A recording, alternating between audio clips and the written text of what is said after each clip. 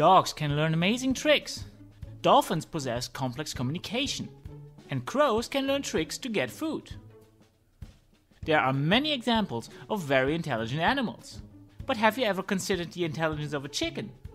Most people would think they're not that smart, but their intelligence might surprise you. Let's take a look. Gallus gallus domesticus, also known as a chicken, is the domesticated ancestor of Gallus gallus, which is the red jungle fowl.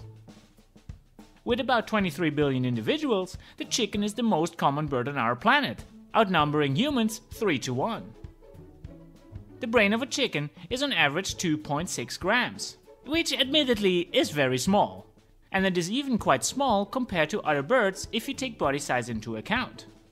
But size isn't always everything. Interestingly, chickens are quite social animals.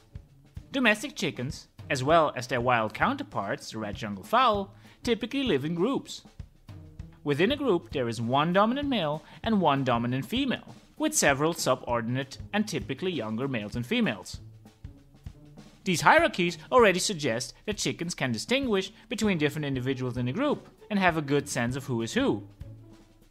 Now, fascinatingly, vocal displays of subordinate males differ depending on when the dominant male is present or not. Only when the dominant male is distracted or absent, subordinate males will display vocal sounds that are intended to attract females. But if the dominant male is around, they will not dare to do that. Also, subordinate males occasionally make sounds that indicate that there is food, although there in actuality is no food at all. Again, they do this to attract females, which suggests some kind of trickery and deception, which also means that there is certainly some cognitive intelligence and that they can make a plan, at least for a short time. Short term memory in chickens has been investigated by using a delayed match to sample task. Chickens were trained to respond with pecking on a response key after they saw a red or a green light. First, the light was shown, which was either red or green, then it was turned off, and chickens had to remember the color.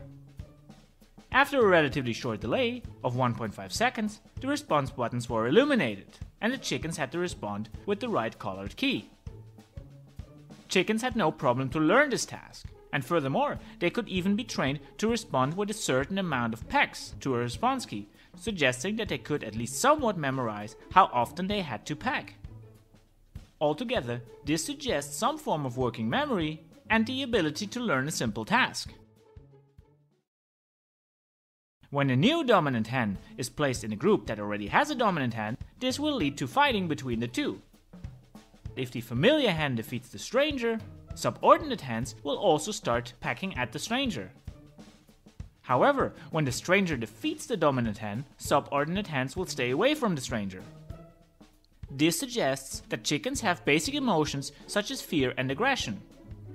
Now, this is hardly surprising, since even fish that have less complex brains display similar emotions. However, other emotions, such as happiness, are not observed in organisms with less complex brains. But chickens do show some specific behaviors in anticipation of a positive outcome. This includes flapping with the wings or feather ruffling. Furthermore, there is some evidence that chickens can display some rather complex emotions, such as empathy. In a study by Edgar and colleagues, three conditions were tested. In the first condition, an aversive stimulus was given to a hen, in a second condition, an aversive stimulus was given to the chicks of the hen, while the mother hen could only observe. The third condition was a control condition, in which an aversive stimulus was given out of reach. Interestingly, when the hens themselves were faced with the aversive stimulus, they barely showed any reaction at all, and their reaction was very similar to that in the control condition, suggesting that there was no emotional response. However, when the hen's chicks received the aversive stimulus, the mother hen displayed a significant response of distress. The heart rate significantly increased, and they showed stereotypical stress behaviors, such as running around and trying to get closer to the chicks. So, altogether, chickens may not be the smartest animal or the smartest bird, and they don't seem to have the same ability to learn as parrots and ravens do, but they still show some rather complex emotions and some cognitive capacity. Anyway, that's it. If you enjoyed this video, please give it a like. And if you would like to see more videos about animals' intelligence, let us know in the comments. See you next time. Bye bye.